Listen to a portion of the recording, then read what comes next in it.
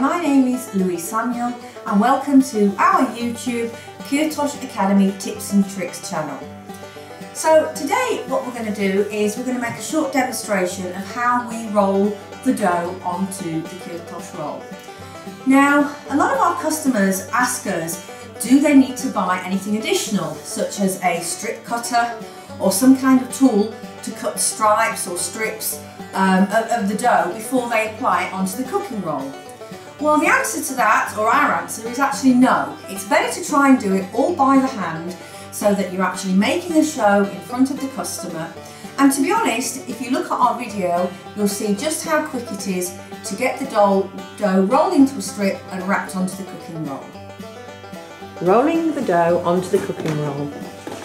Take a piece of the well-risen dough and use the hands to squeeze the dough into a strip.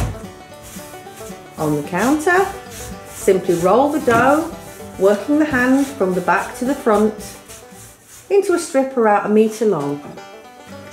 Take one of your cooking rolls, apply a small amount of oil and begin to wrap the dough around the cooking roll. Don't forget to tuck the dough in at the end and roll out onto the surface to join the strips together. Make some beauty corrections and then paint again with the cooking oil and put it on the rack to rise.